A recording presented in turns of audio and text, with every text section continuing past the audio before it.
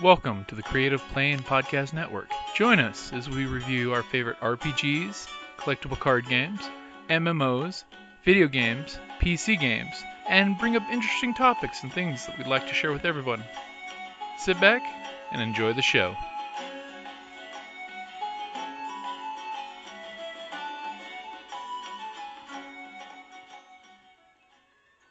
This is Kelly, aka Trixie from Ragnarok and Roll, assigned to Ragnarok Story, and Tilda Wimblewick from D&D Journey of the 5th Edition. First off, I would just like to say thank you to everyone for listening to our varied adventures, as well as for rating us on iTunes and RPGpodcast.com. If you haven't rated us yet, we would greatly appreciate it if you could. And if you're looking for more ways to support our efforts, we are now on Patreon, a great site where you can help us continue making more podcasts, as well as some special surprises for our patrons. If you can, please look us up at www.patreon.com slash cppn. Every little bit helps. And again, thank you for listening. Hey guys, Jim here with Creative Play and Podcast Network. Today I'm going to be bringing you three genius minds that are writers and role players and RPG aficionados that I like, that I follow, that I actually own every one of their RPG supplements that they have out in PDF or paper form. By the way, go paper form, it's way better. So, I'm going to introduce the three of you guys and then let's get you each some time to uh, let everybody know who you are. First, I've got Justin Oldham, the mind and drive behind the RPG and novels of the After Collapse RPG series. We've got Evan Cook, the founder and mad scientist behind the creations of Paradigm Lost LLC. Hopefully that Kickstarter dice comes in and I get to play with them in our next game when we get back to playing games in person because you Yeah, know the whole good. social distancing thing is murder on the RPGs. Yeah. Oh yeah. Oh yeah. And last but not least, John Paul Ried, the writer and game master behind the Arizona Fantasy Gaming Association and the genius behind the Medford Family Chronicles book series, which you can get on Amazon. And book five is now out, right? Yes, yes, sir. Cool. So I'll let you guys each introduce yourselves and a little about yourselves. So Justin, go ahead and go first. Good morning, good evening, wherever you are. My name is Justin Oldham, and I bring you greetings from the top of the world. I plead guilty as charged. I am the creator of AC After Collapse, which, if you're interested in following along with the discussion, you can find at acaftercollapse.com while we're talking about this. And for those of you who don't know what that means, if it just doesn't ring a bell immediately, it's a post apocalyptic tabletop role playing game. Now, you try saying that after three shots, and you're a champ. so, to get right down to it, yes, I built the role playing game and I have written all the novels and all of the anthologies that have followed since. I first got the bug for all of this in the winter of nine, 1983. That's that's dating me a little bit, but uh, for for millennials out there, that's 20th century. But uh, there I was. I was a smartass senior in high school. I was getting ready to graduate, go out, set the world on fire. A friend of mine was sitting at the cafeteria table one day with uh, a copy of first edition Gamma World, a copy of second edition Gamma World, and he says, "I totally know we can do this." And by by by we, I mean you. And so I just, you know, I was having a good day, and so I just looked at him and said, "Okay, fine, I will." And 36 years later, the crime is a reality. Yeah. Very cool. And apocalyptic RPGs and fiction are fun. I mean, as as a, you know, as a Gen Xer, I do like me some apocalypse. Absolutely, because it will challenge you in ways. Now, I'm, I, I don't, I don't knock my brothers and sisters across the aisle over there in the, the, the fantasy RPG department, but there are after you've done the classic fantasy dungeon crawl and gotten the thief killed a few times and you know uh, ha- had the wizard incinerated and then you go and you do the post-apocalyptic version of the dungeon crawl and the first few times it'll drive you out of your mind. After that it's like good whiskey. You you you want more. You don't know where you find it but you want it You keep trying till you find a woody tannin flavored one that you really like. Mm. So, and that's uh, a good that, that that is a good metaphor for the the post-apocalyptic experience because it's not all negative. You sit down at your game table, you got your favorite dice after a long week, 40, 50 hour grind. You would like to get rich or die trying, or you'd like to go out there and rebuild the shattered world, whichever appeals to the inner gamer. And when you can do it or die epically, it uh, is very satisfying. I have to agree with that. Yeah, I like that yeah. a lot. There's a reason why the Wastelander, you know, uh, cosplay circuit yeah. is pretty good, and you know, Mad Max has taught us a lot of good things. You know, I'm just saying. now, I want I want to cap all of this uh, by, by, by mentioning one last point. I did not want to write just another post-apocalyptic role-playing game. I've been doing role-playing games for almost four decades, and the one thing I know beyond all other things is that gamers mod. No matter what you publish, they're going to tear it apart, rebuild it, and use it their way. So what I did was I built for you a modular post-apocalyptic role-playing game kit. There's enough math out there to make the nerds happy. There's enough segmented step-by-step basic advanced material for the world builders out there. If you want to play in the genre, but you have no experience with it, but you'd like a tour guide to say, no, no, no, this is real radiation, then, you know, that, th- this is what I have created for you. And if I sound like I'm having fun with it, yes, I am, because for the better part of 25 years, I beat my head against the wall. I tore my hair out. I'm I'm, I'm three inches shorter than I used to be. And I, as proud as I am of this, I hope never to repeat this experience again. and I will agree with you. You did create After Collapse, which is an amazing toolbox for whatever genre of apocalypse you want. You can do it. So I have to ask you, John. Um, are you saying that you lost the paradigm when making this? Justin? Pro- yeah. Prof- professional courtesy requires me to say no comment. so okay. next, let me go ahead and introduce Evan. Speaking of paradigms. hey there. Well, so um, yeah, I I kind of created Paradigm Lost. Uh, originally, it was actually a different business, but you know, I had to lose the paradigm, and I did something new. I wanted to. Right now, board games and card games and tabletop RPGs, they're like, they're huge, especially with my generation, millennials. Uh, and we're starting to sort of, you know, uh, I don't know how, what to, how to say it, but basically kind of uh, pass down that torch from the Gen Xers who passed it down to us, the millennials, and now we're kind of passing it down to a new generation. They have their own interests and their own preferences, but um, what I find is, is there's sort of uh, two sorts of gamers that are emerging. We have these gamers that really like the the old school pen and paper, Dungeons and Dragons, TSR, you know, uh, yeah, old, old old school games. Uh, and then we have, um, well, what my what my generation might say is a, a casual gamer. Um, when I went to college, we called these uh, beer and pretzel gamers, where mm-hmm. their their interest is to kind of break into the genre and sort of just have fun. Um, where you know we, people with experience, we we kind of um, we we really like to know how we want to have fun in the game. And this will kind I'll kind of talk about this later with the GMing stuff, but um, when I created a game, I wanted to create something new. And so I created uh, a card game that was a tabletop role playing game. Um, and your your character sheet fits on a card, and the rest of it's a deck. Uh, I have different rules to sort of make things, you know, to switch things up. It's not just a, a random deck that you're pulling out of. There's a lot of abilities that you can do to stack your deck. uh, and in fact, it's an entire game about stacking your deck.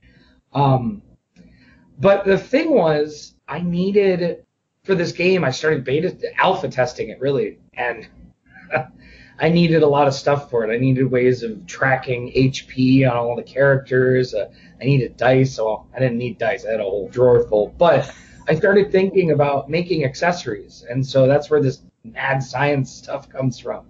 I uh, I went into a game store. I had no money, nothing. I had nothing. And I said, hey, I have this idea for a game accessory. It's a game tracker. If you buy, you know, so many of these things at this price, I can I can make them for you. He agreed. I did it. I uh, he just he handed me some money. I gave that to a local laser cutter uh, with my designs. They cut it out. Uh, it didn't work out so well. I ended up owing money, but the money I did grab from that, I got my own laser cutter. Started out with a, just a real small, you know, Chinese K40 thing. It did not work very well. I called it the Death Star for a reason. uh, the uh, basically the laser would charge the water particles that cooled down the laser tube, and it would cause crazy, crazy, crazy static shocks. Um, and you'd electrocute yourself really bad. It, it, would tear apart the cooling bags I would throw in the cooling container. Um, but anyway, uh, but you know, from that point, I slowly built up. Um, I took, you know, I, I, reinvested, reinvested, reinvested, and uh, took my retirement and my wife's retirement, and we, you know, got a new laser, and we uh, started developing. Um, uh, new ways of manufacturing things and reproducing things, and started coming up with all of these crazy products for D and D and dice recipes, and all. It just exploded from there. And I met a lot of people th- online through Facebook, and it exploded from there. So, you know, currently I'm working on the lore for my R- uh, RPG, and I have a, a a staff of writers that are all helping me now I have editors, lore checkers, all it's just it's impossible to keep track of because I have this multiverse game. Instead of like a post-apocalyptic thing, uh, we're working on um, combining many worlds theory with the multiverse theory. So uh, I won't go into the specifics of that and why they're actually different. That's I'll leave that up to you guys. I'm sure you might be interested. I used to be a science teacher, and uh, I really wanted to have a really strong science base for my lore. And that's where I started. And, you know, I'm having it uh, checked out by Dr. Erin Macdonald. I met her at a convention and she did the science lore checking for Picard season two that hasn't come out yet. Mm. So, yeah, I'm really excited. I have a bunch of artists um, hired on. So Quinn McSherry is my uh, art director and he was able to get in touch with a lot of um, famous artists in uh, in the industry. You may know of Bruce Brenneise. Um, he did uh, Numenera, uh, the the art for Numenera. Um, he's also did a lot of Fantasy Flight stuff, Cryptozoic, all kinds of things. And he'll be doing our maps. Uh, he's doing four maps for us.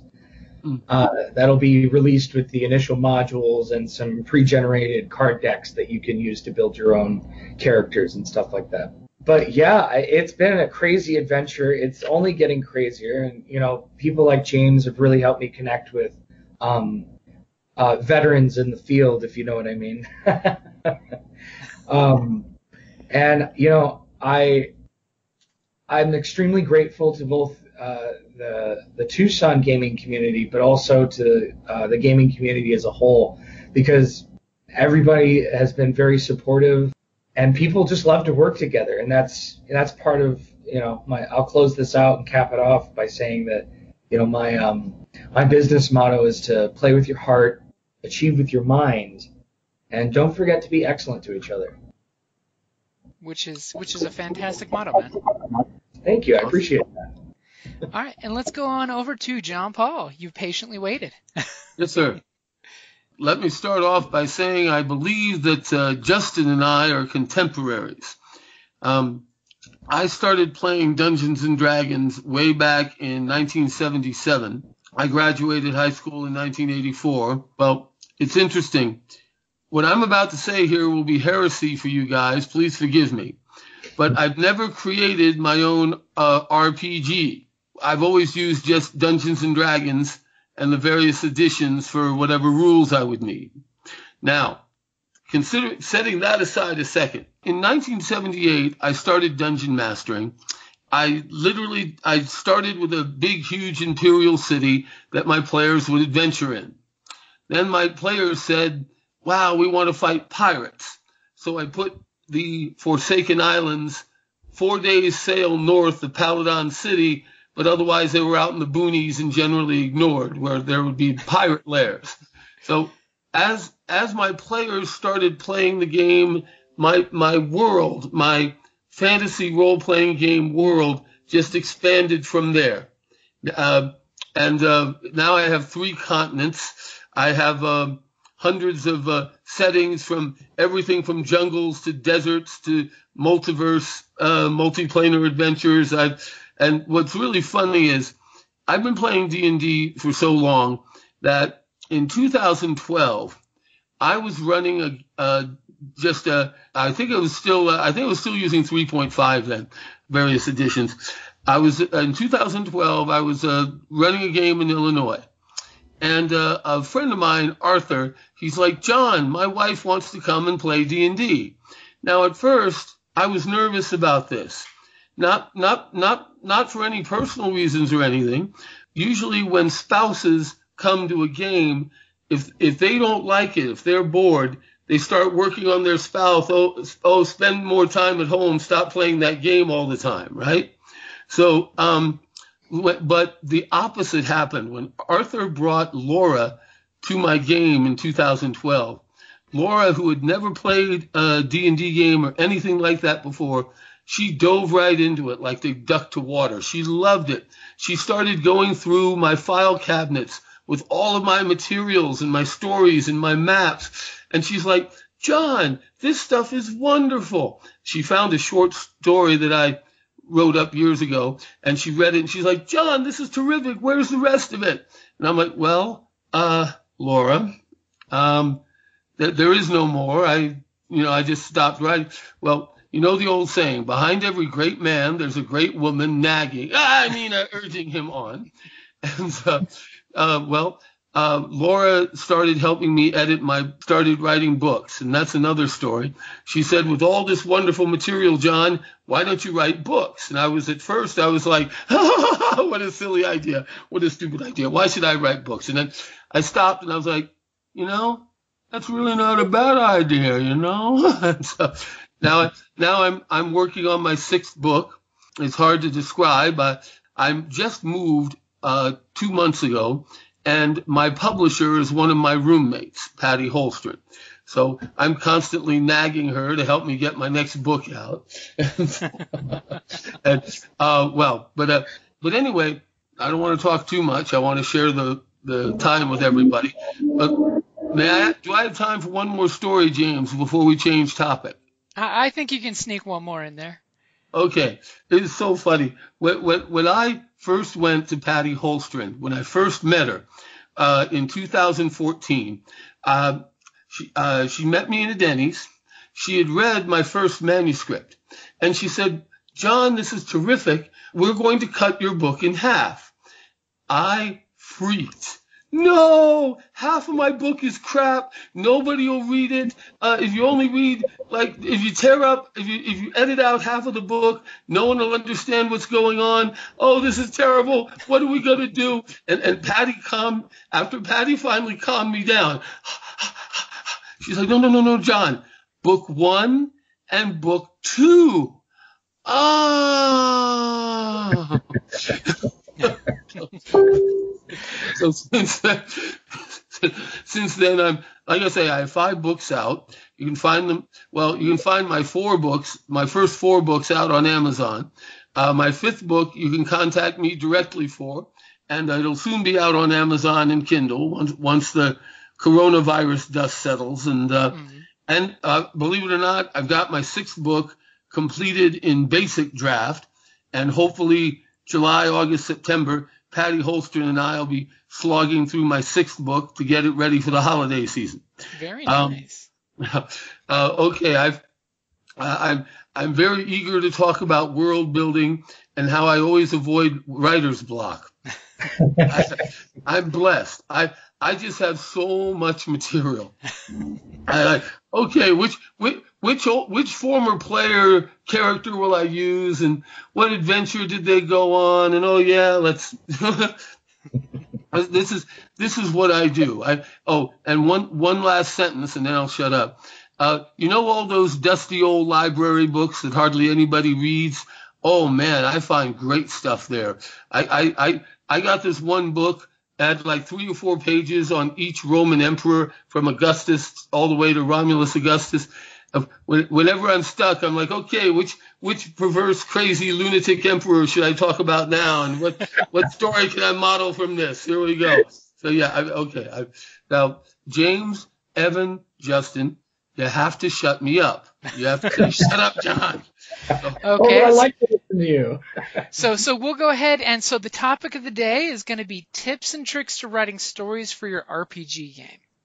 So pretty much all three of you, you know, are great at writing stories because you know I've read all of all three of you yours work. So RPGs and stories, I consider all three of you experts on those topics. So we'll go ahead and start with Justin. So first off, give give give one to three tips in general when it comes to story writing. What what are some tips you would definitely throw out there as for me, these three things work for me? Go ahead and start, Justin. Okay, first and foremost, understand the commercial potential of what it is you are doing. Way back in the day, when I first conceived of the concept of building my own game, pretty much in the same thought, I had the idea of writing novels based on the game.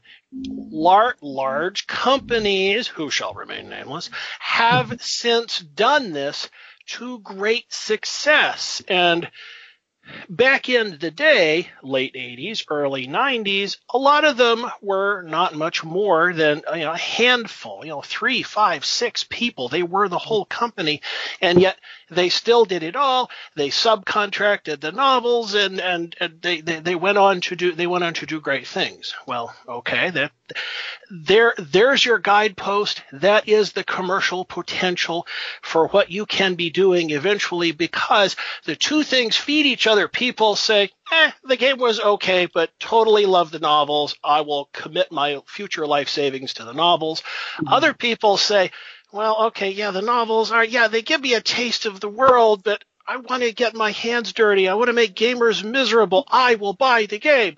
And that's so that there's a symbiotic relationship between the two. When you know that, you can start playing with this form of fire with or without oven mitts as you please. Once you know that, rule two, build the game first. I cannot say this enough. I have been at, I have been at five different podiums over the course of the last six years, and everybody looks at me like I'm not stupid. I can I can I can multitask. I can do I can do things at the same time.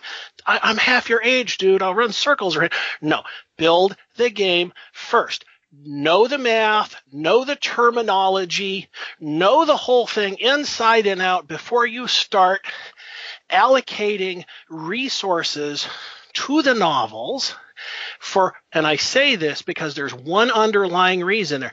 When you have actually built the game, you have the freedom of control as the lord and monster of all you survey.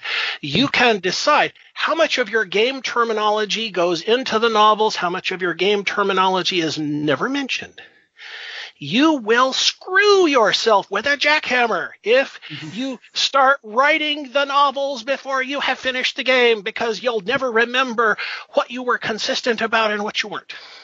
So that's that's rule 2. That's rule 2. Rule 3 is think 5 and 10 years down the road.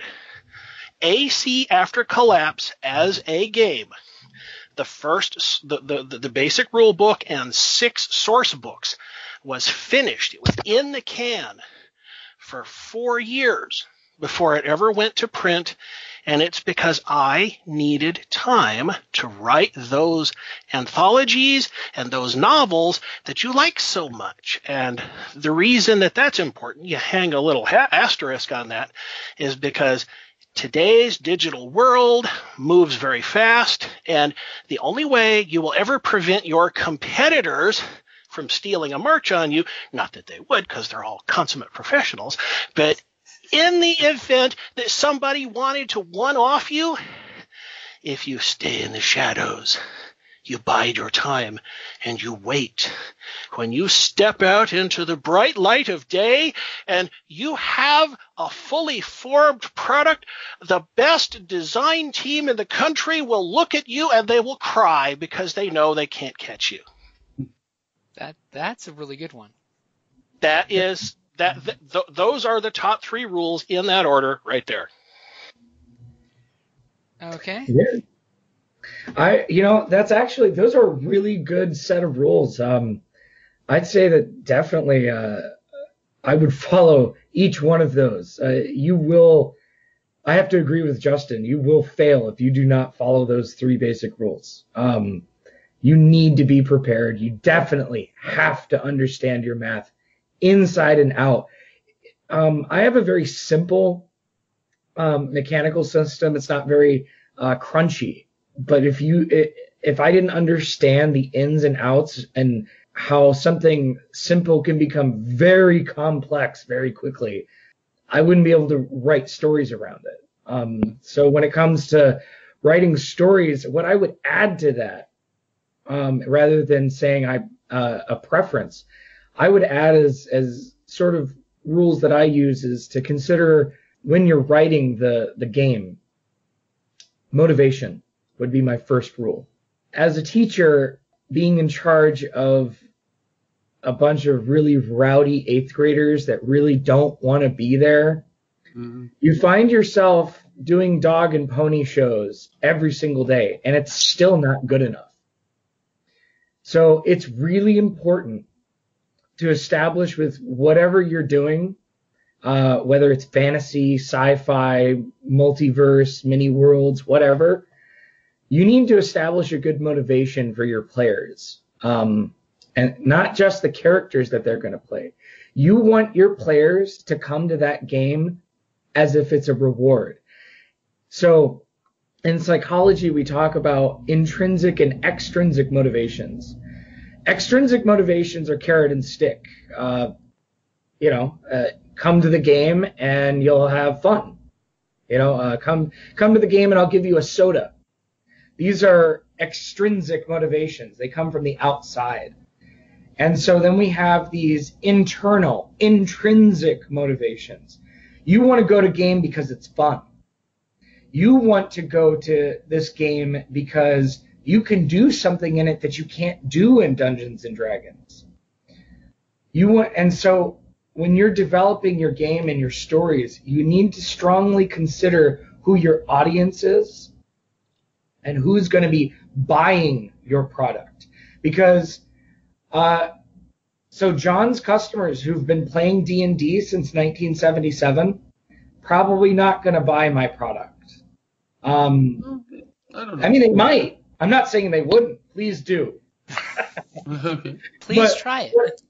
But when, when in sales, before I was a teacher, I did sales, and you have to learn who and who isn't your customer. Yes. And so if you're selling to people who aren't ever going to buy your stuff, you're never going to sell anything. So you need to consider who your audience is and motivate that audience to get to give them what they want, what they're looking for that they can't really find in other areas, or at least exaggerate what they're looking for in your product because that's what they really want. Um, and so that would be sort of my first rule is to understand motivations. Uh, and that goes with writing the game too. But the other thing is, is if when you're making a game, you really need to consider um, your settings. So I've made a bunch of games. Um, a lot of them haven't really gone to sale. Um, but you know, as a teacher, I've made games, but also just for my own group.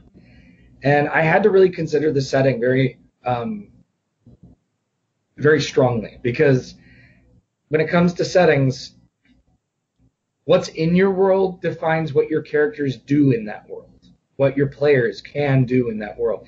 If you have a Western setting, well, likely laser beams and Gauss cannon or Gauss cannons, sorry, Gauss cannons probably not going to be involved in your story.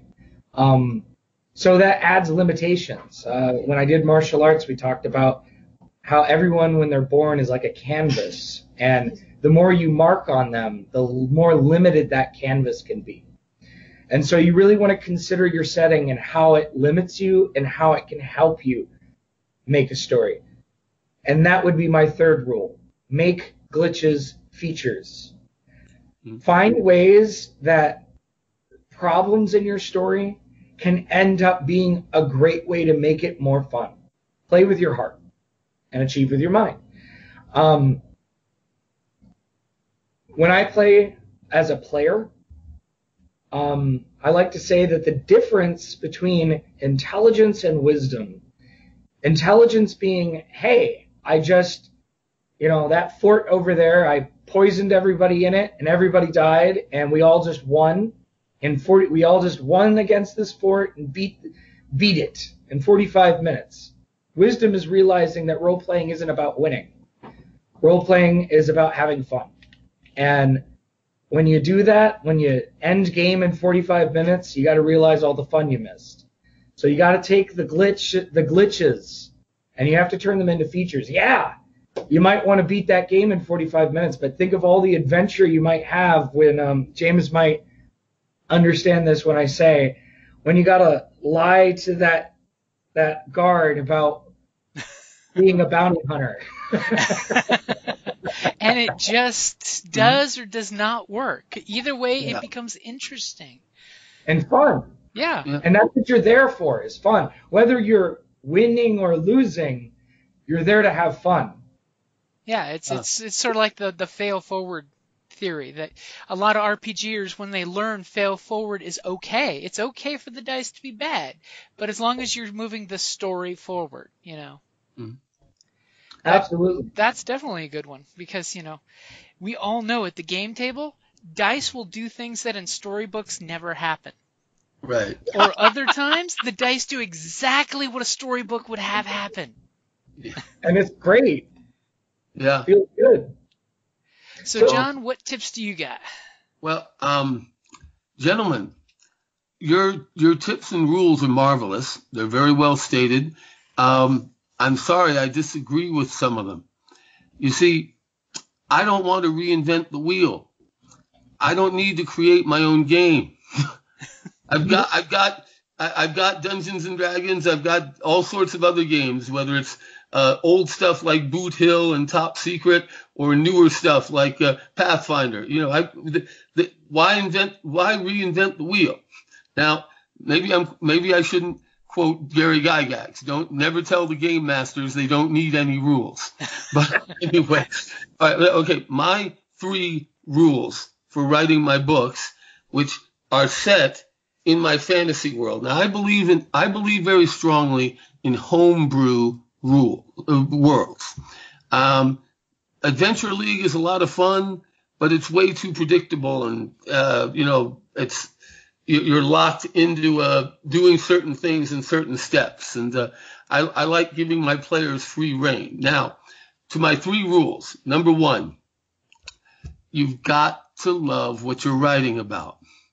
When your publisher, Patty, when your publisher calls you at three in the morning, John, we've got a big problem in chapter six. A whole page is missing and they're going to press at 6 a.m. Can you get up and change, you know, fix, fix the print, send it to me so I can send it to the printer? You know what? It, You've got to love what you're writing about. To get up at three in the morning and say, yeah, Patty, I'll get that done. And I got it done in an hour and a half and still had an hour and a half to spare. So, uh, so number one, you gotta love what you're writing about. Because, okay, Number number two, um, you know, I like to write books that I want to read. Now, I they're, wonderful. There's so many marvelous books out there. I could I could I could spend hours just citing eight or nine. I could cite cite a hundred different book series that I like and are wonderful. But I'm I okay. And by the way, um, by the way, Evan, I I taught uh, special ed for eight years in public schools. I also taught at a community college on again, off again as an adjunct for 20 years. And oh boy, I know what you mean about students. at, least, at least, at least the at least the college students they're paying to be there, so they're Right. they're they're a little more in tune with like, okay, I really should listen to this. Now, all right, num- rule two. Well, I've already said rule one. You gotta love what you write. Rule two, very important. You've got to remember that when write books that you want to read. Share something with your reader. Hey, this is important to me. I'm sick of young adult books where the big climax at the end of the third book is when the 12 year old boy kisses the 13 year old girl. oh, oh, please. You know, I, A little I- bit okay. of formula there, you know. right. Yeah. I, I, I try I try to write books that I would like to read. Now my books are meant for ages 12 and up. Actually, my fifth book is definitely meant for ages 15 and up. But uh, but uh, anyway, the, but so rule number two: write books that you yourself would enjoy reading. Number three, and I'm echoing what Evan said before. I I I use the fancy word demographics. Write to your demographics. Now it's a, it's sad, but it's true. Uh, 90%, uh, maybe not that high, I'll say 80% of all fantasy readers are generally uh, men from ages, uh, ages 15 to 50. I mean, you know, that, that's the best demographic information I can find. And I see it all the time when I go to conventions.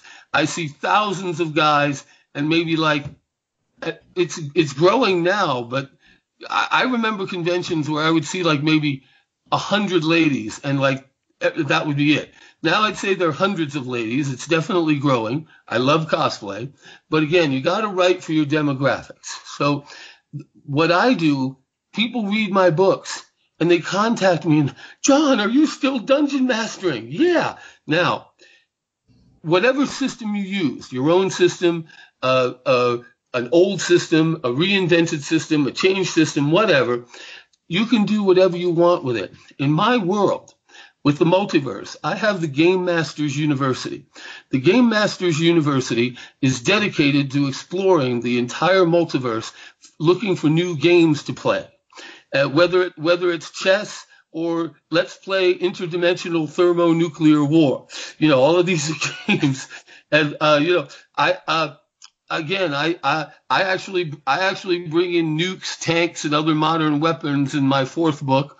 Uh, if you're if you're going to assault the nine hells, inter, uh, the nine hells planes, uh, uh, you're you've got to you've got to have more than just magic. You know, like, uh, Yeah. uh, You yeah, gotta so bring some again- tricks. Right. Yeah. So I mean, again, I can pull in.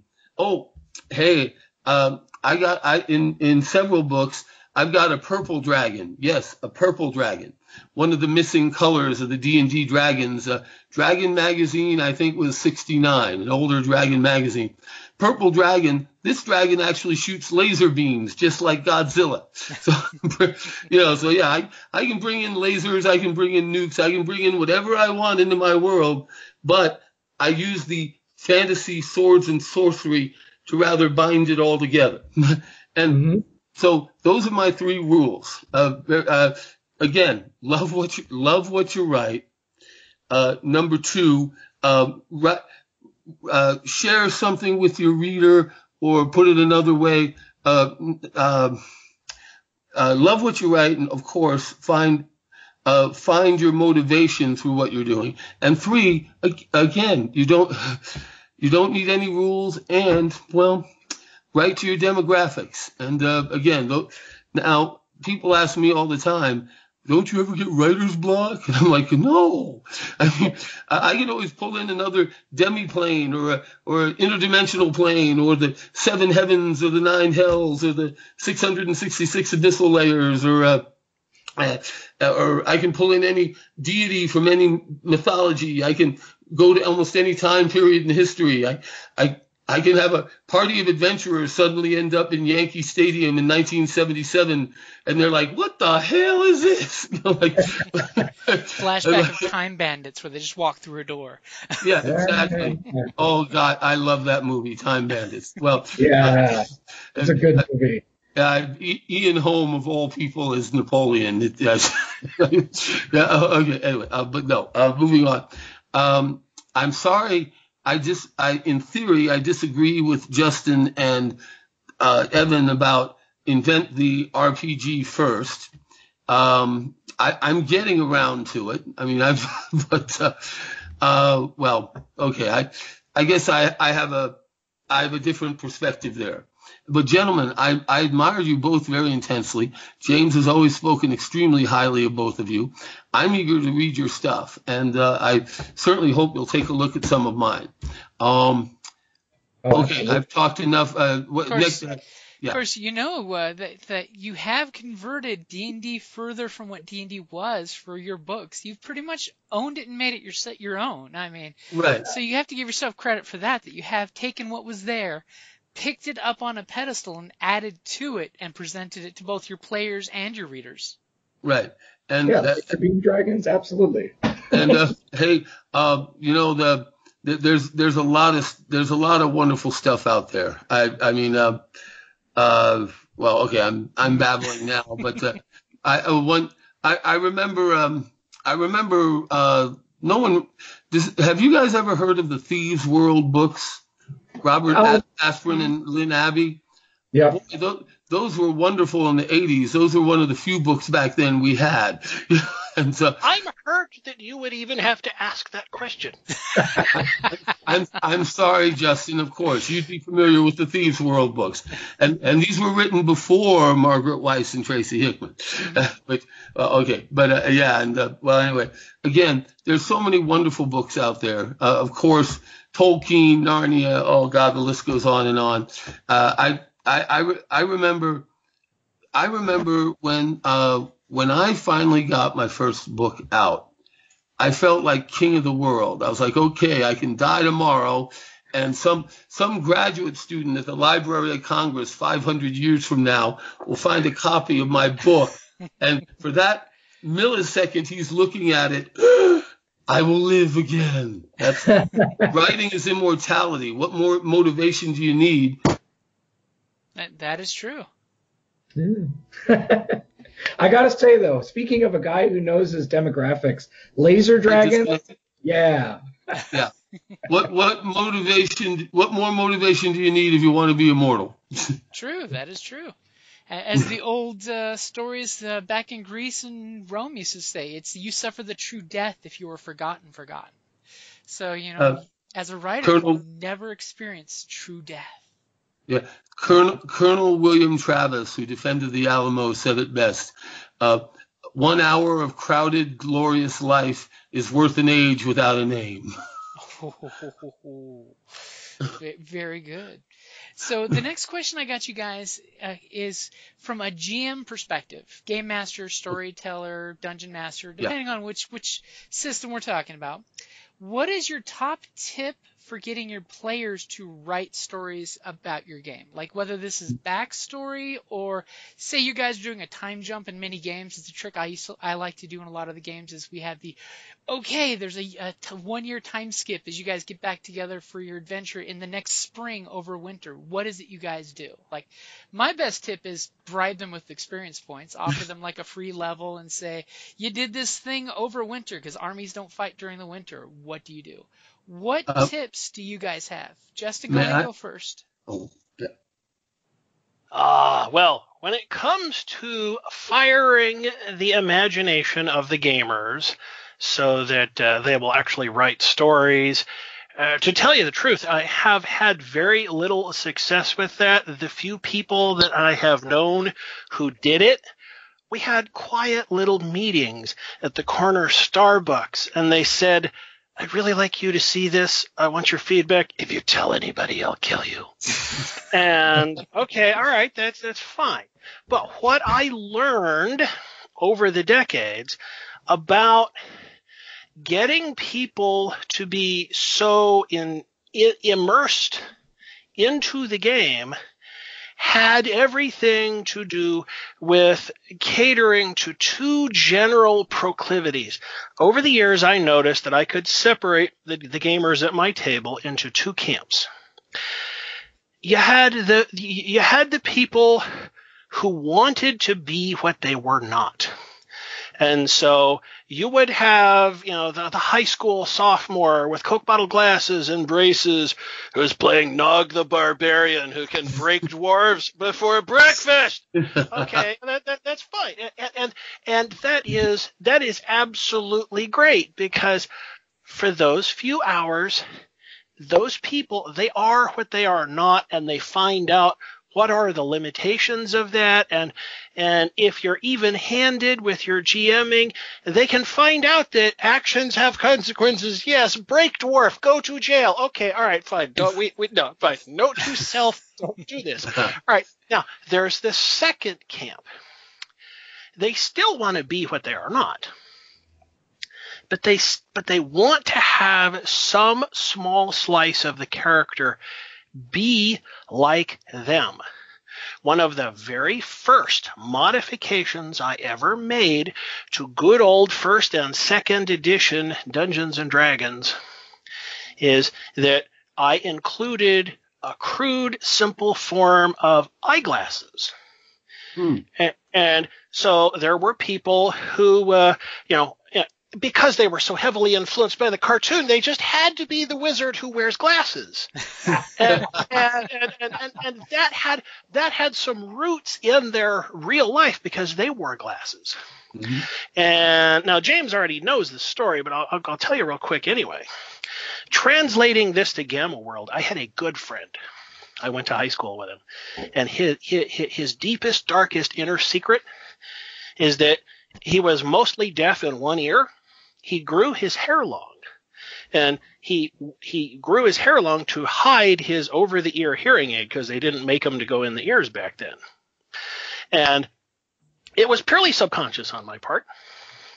I included a hearing aid on a random D20 loot table for Gamma World. That loot item came up one night, and this guy basically uh, uh, because he wanted that. He his character that he was playing was not hard of hearing or deaf in any way but that that just the mere fact that that item that he was used to in the real world existed. He really really wanted it. And he ended up sharing his secret with the other gamers at the table. To the very best of my knowledge until we all graduated in 1984 they never they, they never shared his secret with anybody so that was that was a little bit of a connection. So when you read my post-apocalyptic fiction, yeah. in the novels, there tend to be visually impaired characters because I myself am legally blind, and there are there, there, there are, there's always that one part in the story where the character turns the negative into the positive, and and I'm I'm I'm making this point because uh, even though I myself have had no luck with getting other people to write uh, stories, at least nothing that they shared with anybody, nothing that they ever went on to publish. But I have also known people who, again, they were so invested in these games they put me to shame when it comes to collecting notes. You know, I, I, I come to the gaming table and I sit down and I've got my folder with all my typed material and I've got my spiral notebook and I've got a pen and I'm ready to write. And there's three people sitting across from me and they've all got three ring notebooks. Mm-hmm. Because because they've they, they they've kept far more detailed notes than I ever did, and so whether it's the post-apocalyptic games, or the old fantasy games, even Traveller. You know, people they'll they'll, they'll flip open their notebook and they'll say, Um, back when we were in the town and we were talking to the guy, and I saw him put the thing in the desk, third drawer from the right. I want to go back and speak to him. I want to know if he still has that thing available, and will he part with it for a fair price? That's always magical when that happens. That's That is- just magical. And that that that's uh, as off topic as it is. That's my story. Cool. That's really awesome, Justin. I, I really love the humanity in your story. You know, the the sort of the the relationships that you had had built with your players. Yeah. And Absolutely. Well, well, thank you, thank you very much. I have I have thought for most of my life that people do the things that they do. We we in, in in our in our real world lives, we're motivated for some reason that most often traces back to we, we, we just want to do the right thing. Now, sometimes people have interesting definitions of what the right thing is. Well, of course I should have all three cookies. I just killed the monster. What are you talking about? But the monster was a good guy. No. well, He drew first. very cool. Very, very awesome, Justin. Very awesome. so, so Evan, what tip do you have to get your players, you know, writing up stories, backstories, and such for their characters? Well, in contrasting, um, in the the way that Justin um, to- gave his tip, uh, I feel like Commander Data over here because I have something that's a little bit that's has a little less humanity and a little less uh, interesting. Maybe he picked up, uh, you know, really good storytelling from being on the radio, but um, I liked when I try to get my players to play. I actually have wonderful success. Um, but the reason why is because I, at least I believe, that when we play games, especially together, when we eh, we all have the same motivation to do it, and that is to be heard. As the GM, we want to tell a story, and we want to be heard. Mhm. As the player, Yes. we want to be part of that story.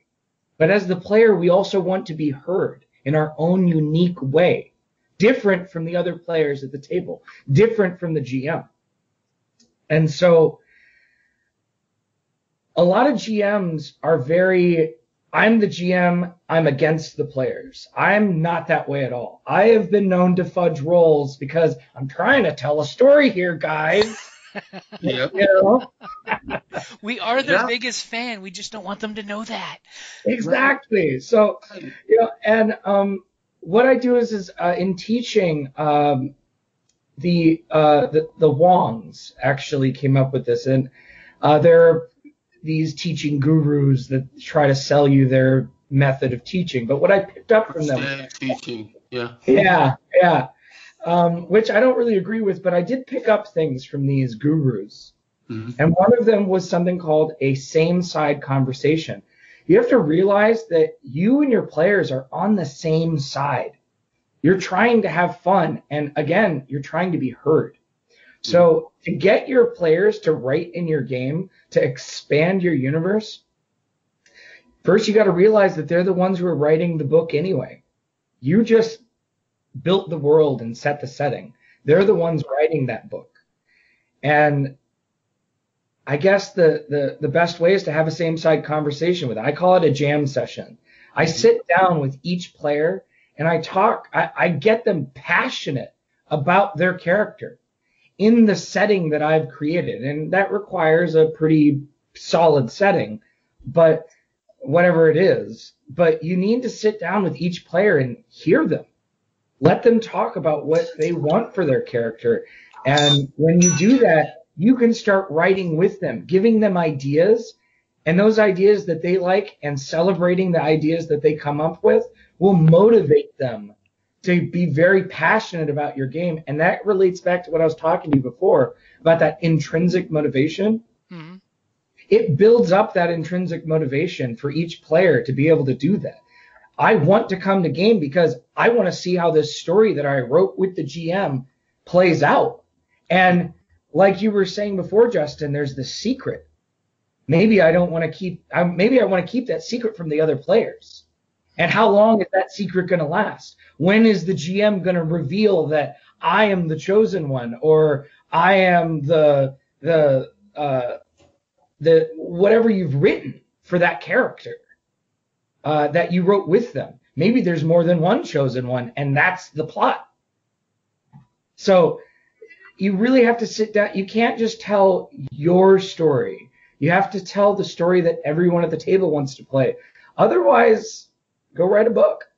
that that is a good one right there. You know, rather than running a game, write a book. yeah. Because your players will derail the story nine out of ten times anyway. Yes. Yeah. uh, uh, that. Th- thank you very much, Evan. You you say, segued my comments here perfectly. Oh. Um, now, exactly. Um, my books, I, I, I've I've been blessed with wonderful players over decades, but my books have really blessed me. I get calls from people that I met at a convention two, three years ago. Hey, John, are you going to start a new D and D game? Can I play? And, and I'm like, and uh, this, uh, okay, you, Evan, you were talking about kept, uh, carrot and stick before. Well, uh, would you like your favorite character uh, be in one my next book? Oh, okay. So, so let's sit down. Let's design your character. Let's figure out his back, his or her backstory. Let let's build this in and play play with this character as you want. And uh, we'll take certain encounters and certain situations and put them in the next book. And uh, the the problem I've been having, and Justin talked about this earlier. The problem I've been having is like. Uh, you know, oh, uh, can they be the star? Can they be the main character? And I'm like, well, no, but uh, you know, But they're in the book. That's the important thing. Right? Exactly. Exactly. And I, I tell all of my players, every player starts off, they get one character in my books, you know, and then, then later on, I'm like, I, like, I'll call up a friend that I, uh, a friend that I've known for years. I'm like, Hey, George, can I, can, remember that character you used back in Illinois? Can I use him in the next book? Sure. You know, it's like, so yeah, carrot and stick. Now, um, motivation. I agree with both of you. Justin, Justin said it best and Evan echoed it. Um, te- the GM wants to tell a story, but the players are the story. You want to engage them. You want to, you, you, you want to get them into the story. You want them coming back next week, like, oh boy, what's going to happen next? And, uh, and, uh, the, uh, what Evan said something about dice that was very interesting. Just this afternoon, I was playing D and D, and uh, well, it's kind of funny.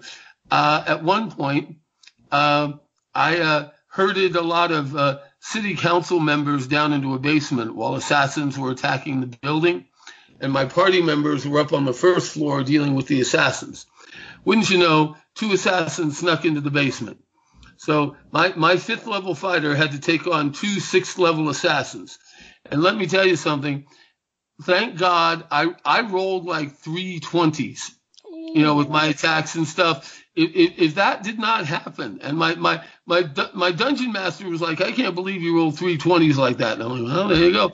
You know, if, if it weren't for that, I would have died. I was, I was brought down to three hit points. And I, you know what? I said to myself, you know what?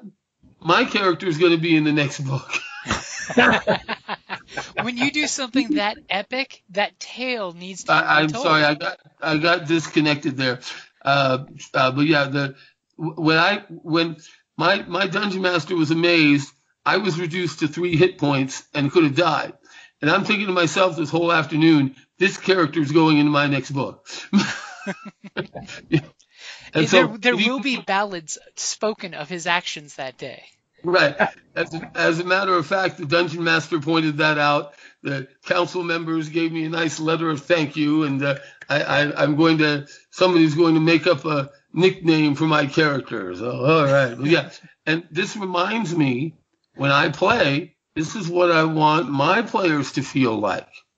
So it's not just experience points. And ah, now here's here's the trap.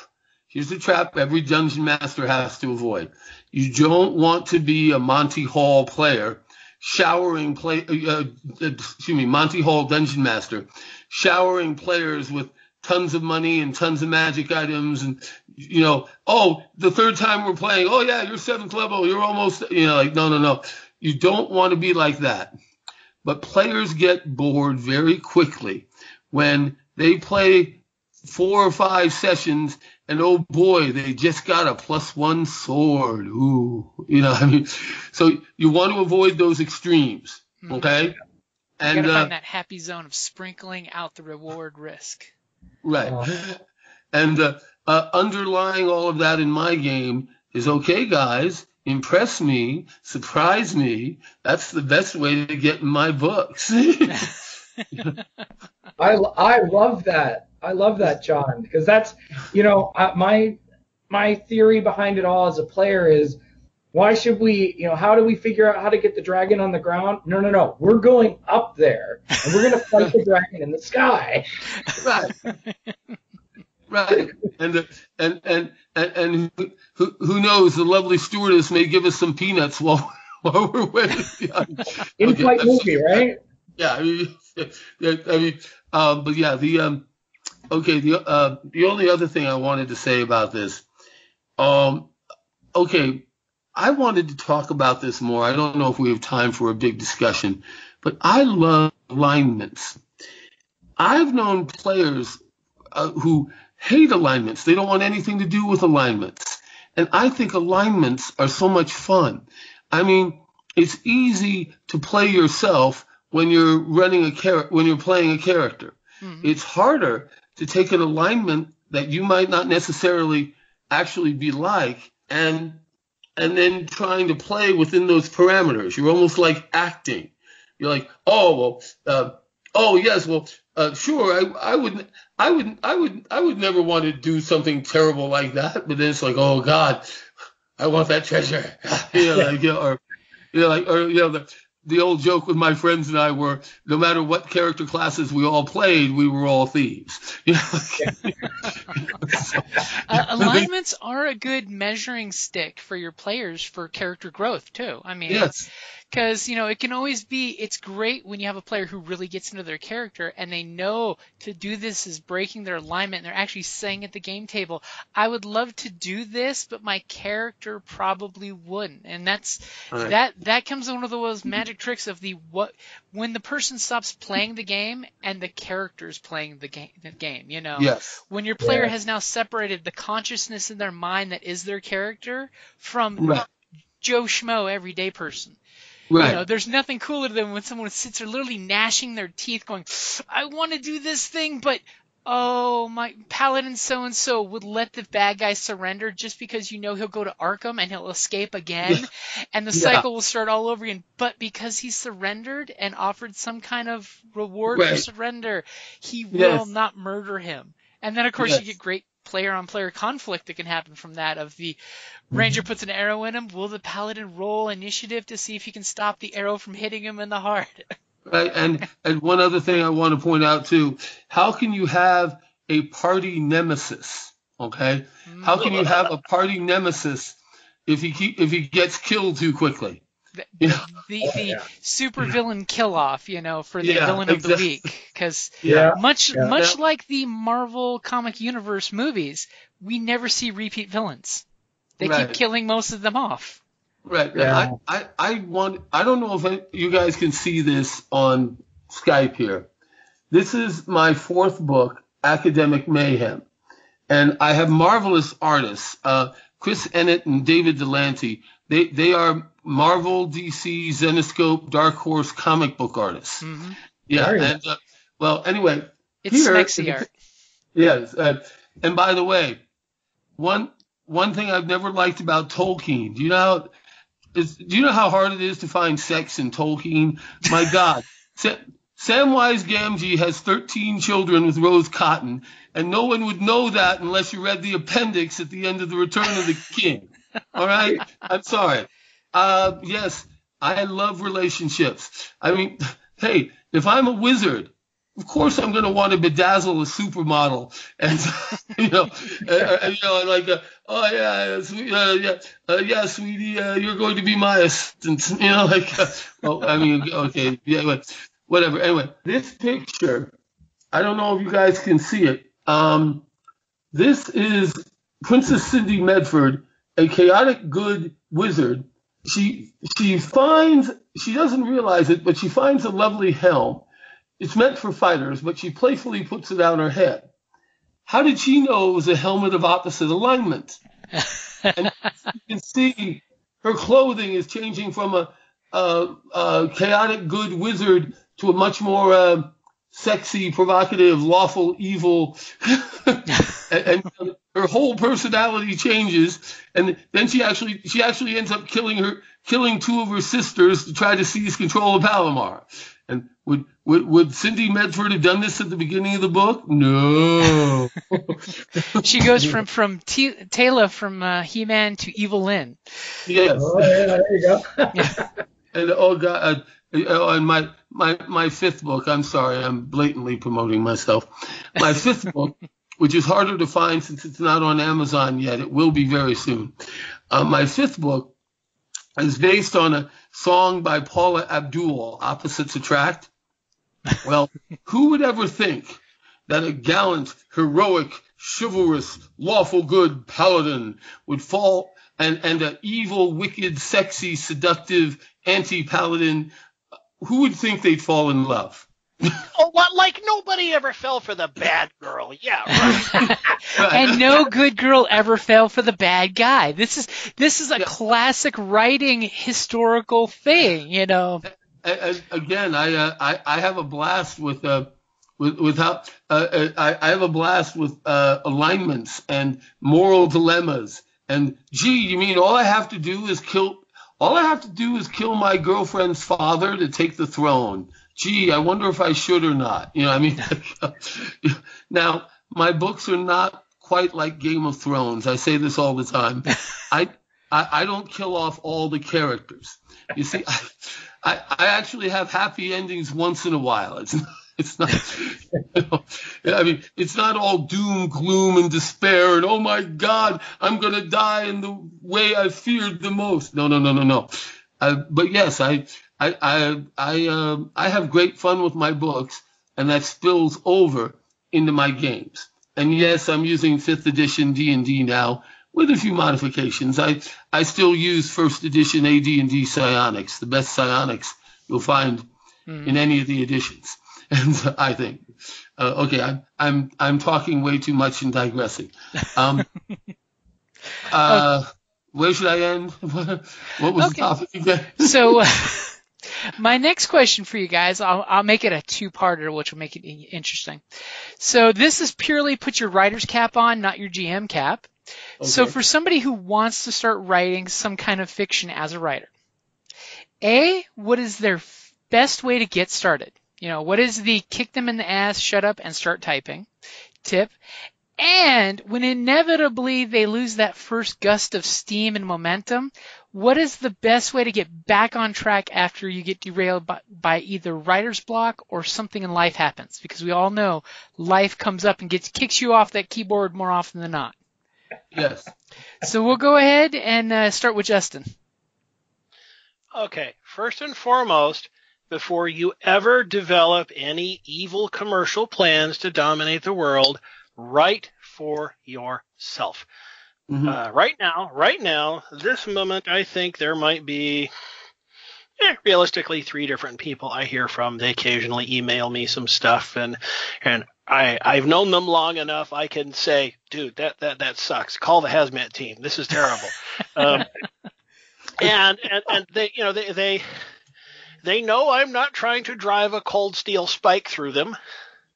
They'll they'll they'll take it and you know, sometimes uh, I, I've known these people long enough.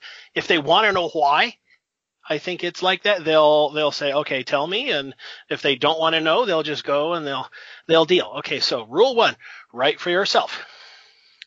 Rule two: do not, do not, do not judge yourself against anybody else. Do not measure yourself against anybody else. I don't care if you love Stephen King, don't try to be like him. I don't care if you love Tolkien, even though it's none of your damn business who has sex with whom. It's uh, you know, it's it's you don't don't don't measure yourself against these people, especially people who have been in the business longer than you've been alive. It's just, it's not going to happen. If you think about this as one rule for each hand, you can you can stay in balance. And then the last of it is to think long term. Because the terrible truth is the overwhelming majority of people listening to us right now, 99% of them were not college trained, so there's a lot of stuff they don't know. They're gonna they're they're gonna do it their way, whether they intended to do it their way or not. They're gonna they're they're gonna bootstrap. They're gonna do it by the seat of their pants, mm-hmm. and that's okay. That's fine. If your story that you worked so hard on is only a page and a half long, that's it. That's what it is. Yep. If it's 10 pages, then that's exactly what it is. You got to remember that this is your own personal laboratory. You can close the windows, you can draw the curtains, you can lock the door, you can burn the place to the ground as many times as you want, and nobody will ever know. And when it is time for you to go to somebody you can trust and say, hey, um, Hey, Justin, I see that you have done this kind of thing before. I want to do something like this, but uh, still taking embryonic steps here. So, you know, what do you think? Now, to the people out there, if any of your friends, your pals, your colleagues come to you and they show you their first time effort, take the boots off, take the gloves off, sit down, fill your lungs with air, and be, be merciful because your first impulse is going to be to speak to them with your 10 plus years of experience. And from their point of view, a 500 ton safe has just fallen off the Empire State Building and killed them without mercy. So avoid that. Don't do that. You've hit them so right. hard, their honorable ancestors felt it. Yeah. Indeed. So don't. Yeah. You know, you, th- that's that's my caveat to the whole thing. So write for yourself. Don't judge yourself against anybody else. Don't measure yourself against anybody else. And just think long term. If it takes you three, five, ten years to learn how to do this, then then that's exactly what it takes. I mean, once upon a time, just a, a uh, just just just to uh, uh, follow the example of my colleagues here and to expound on my past a little bit. Before this is before I got the idea to to to develop the post-apocalyptic role-playing game. I knew I was going to be a writer from age six on. Hmm. So in er, er, uh, it was about October 1983. The legendary Anne McCaffrey. Mm comes to our school as a guest lecturer. And I'm sitting there in the in, in the second row. And, and and she says, "Is there somebody named Justin Oldham here?" And I'm thinking, "Oh God, what have I done? What did I do? Uh, this is, uh, you know, not, not, because you know, the last thing you want to do is come to the attention of accomplished master. so, like, uh, yeah, uh, yeah, yeah, yes, ma'am, yes, ma'am. She walks over to the edge of the stage. She looks down at me and she says, "I hope you're not planning on writing anytime soon." Uh, uh, no, no, no, no, ma'am. I was, uh, um, was thinking about living a little first. And she says, that's, that's very good. I didn't come to writing until later in life. And somehow I think the maturity will do you some good. And then she went back to the podium and, and, and, and it went on. Okay. You know, it, it, it made, it made the point to me while she was telling her, her life story and and and that's exactly what I did. Uh, I, I I came to all this later in life because I wanted to go out, I wanted to make mistakes in life, and I wanted to do other things so that I could come to this with a with a breadth of experience. Mm-hmm. So. If you're out there right now, if you're listening to this podcast, if you're thinking about writing a story, do it Just do it for the reasons you want to do it. Don't try to be like anybody else and take your time. Mm-hmm. That's that's a great one. I I want to interject real quick because a lot of folks don't realize the contemporary great writers wrote little newspaper mini stories, little little mm-hmm. anthologies, and then those anthologies were recreated in their novels. So just by getting the story out on paper, you can always revisit it and retouch it, you know, which and that's a great mm-hmm. tip is just get it on paper. hmm That that is a great tip. Absolutely. That way too, in case you had writer's block, you can go back to the old file and reread it and say, hey, change the names. This story element is perfect for this other character and put it into another story. hmm Mhm. Like most game masters do all the time. But we don't tell them that.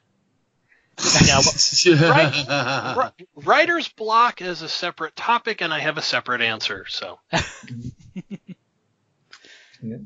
How do you, how, Justin, um, how do you get back into writing when you get thrown off, though? well, first let me uh, let me uh, tell on myself a little bit. Ever since the day I could walk, I have always had the bad habit of being obsessively single-minded. So when I say I'm going to do something, what I'm really saying is, I promise to the heaven and the earth and the stars above whoever hears me that I shall do this unto death. Okay, that's that's really what I mean. But if I say, you know, yeah, I'm, I'm going to go do it, then I, I, I tend to be unhealth, uh, unhealthfully fixated on, on on on my goals. And the other thing I do is I have always believed that uh, just in the same way you can wreck your body physically. Uh, because you know you, you you you work, you run, you play, you do sports, and then you go out and be a lumberjack. Okay, by the time you're 35, you can barely walk.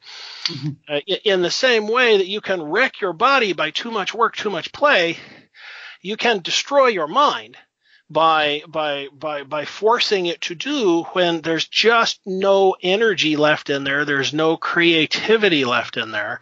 So for most of my writing life I stick to a fairly rigid word count for most of the year.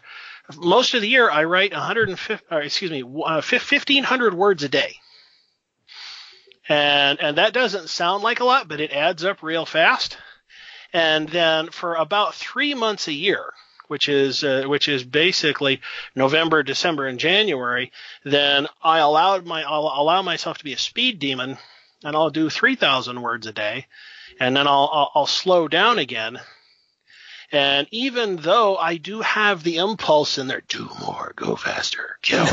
okay, uh, you know, it, it, it, it, it, I have learned how to develop the willpower to uh, to to to keep the you know keep the racing beast in check, so that now until the day I choose to retire, there there there's still some energy left in the tank, and the the the one thing that will throw me is when the carefully laid out plan uh, turns into a dead end story. And that, that that's demoralizing, but all I do is hate myself for two or three days and get back to it. I know how that feels. Give yourself some Oh. time to get some of those spell slots back. I, Yeah. I, I, I'm just jumping in here and saying I call it my muse. When my muse is screaming at me, I, I can write chapters overnight and pull a book together really quickly. When my muse is asleep, I, I, I have to kick it once in a while. Come on, come on, get going. come on, wake up.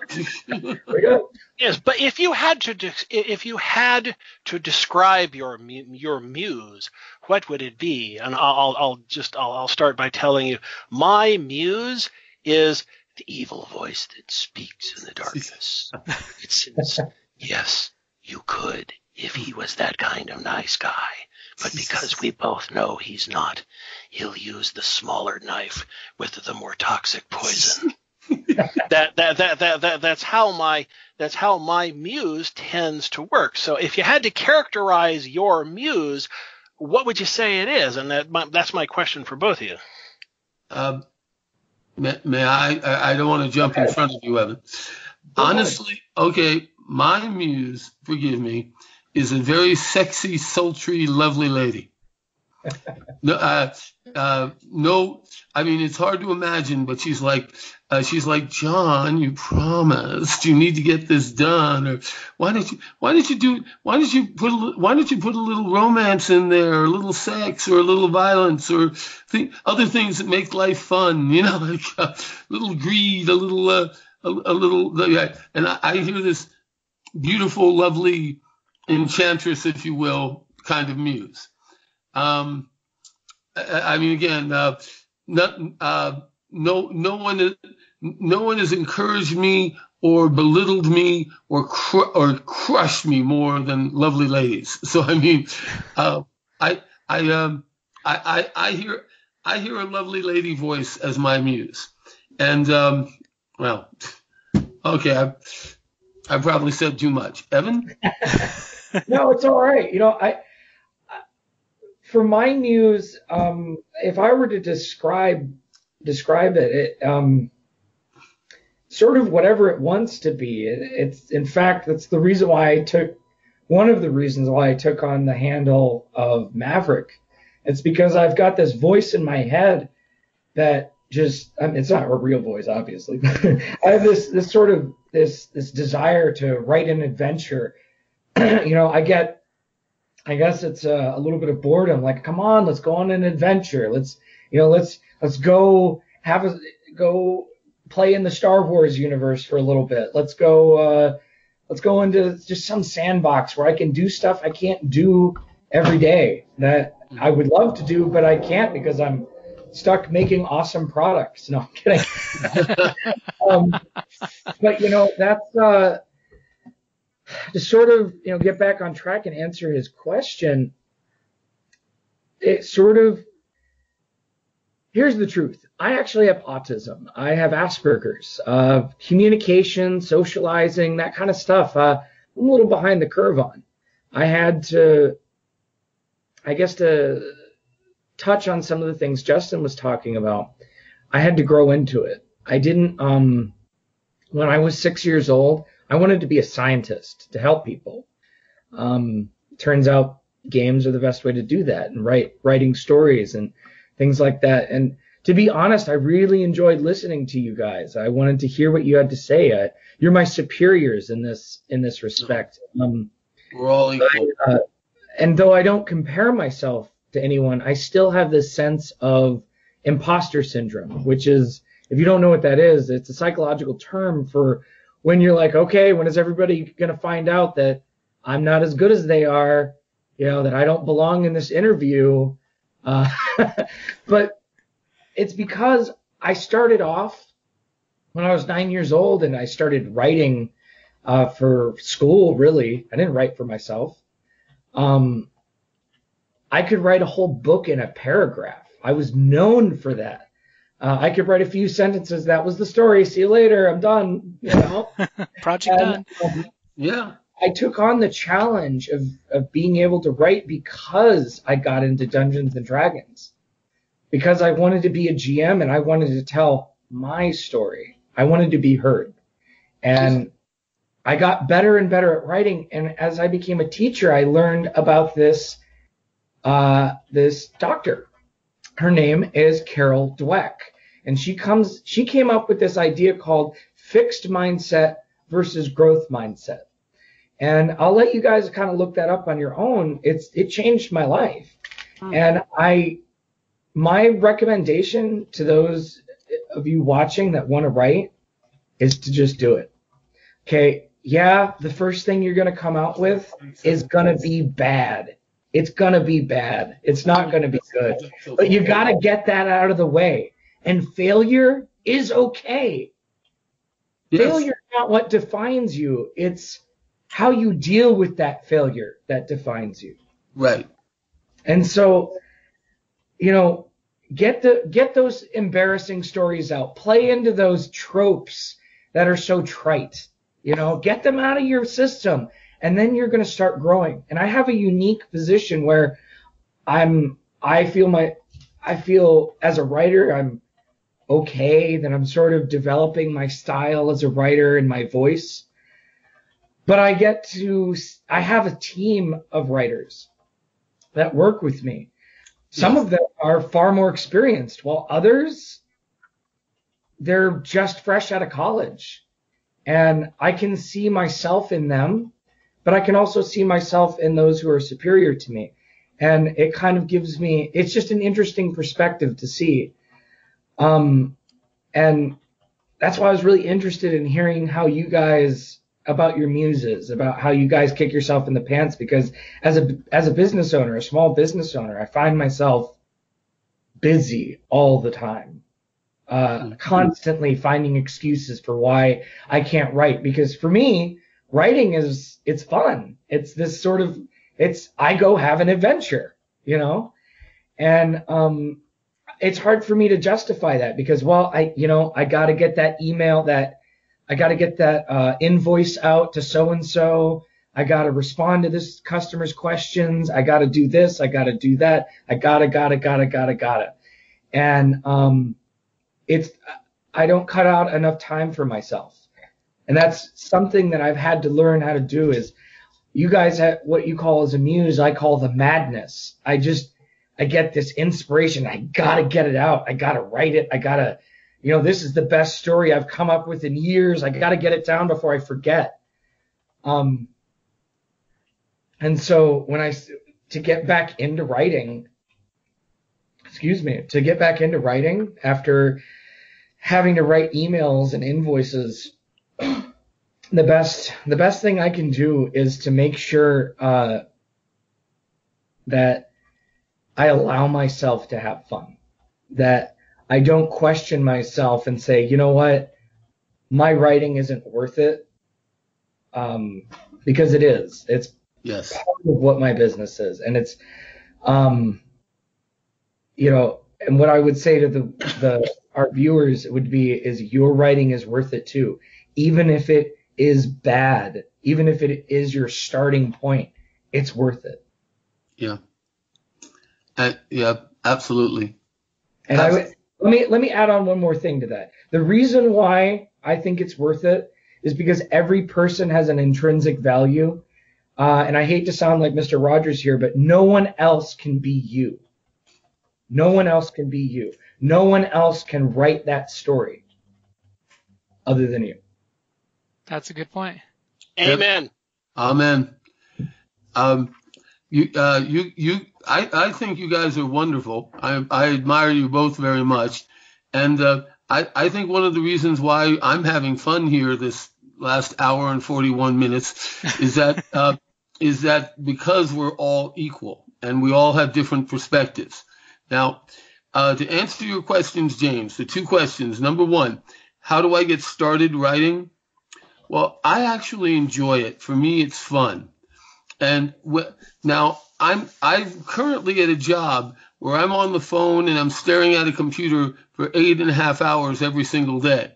Then to go then to go home and then well I'm working from home now with the coronavirus, but uh, I don't have the coronavirus. I just mean with the crisis. But then to stop that, get on a computer, stare at a computer, and type you gotta love what you're doing. you gotta, yeah, now, that's true. Yeah. Now, uh, uh, what what get what I tell people when they tell me they want to start writing, I say, great, start writing. Just get your thoughts down. You can always go back and proofread and have somebody else proofread for you to improve it, streamline it. And that's the hardest part of writing. People uh, they they write they pour their heart into their huge manuscript. It's perfect. It's wonderful. Can't we just publish it the way it is? Uh, no, you've got to have people that uh, not yourself. You've got to have other people to proofread it because mm-hmm. I mean, what you thought was perfect might not make any sense if you read it aloud.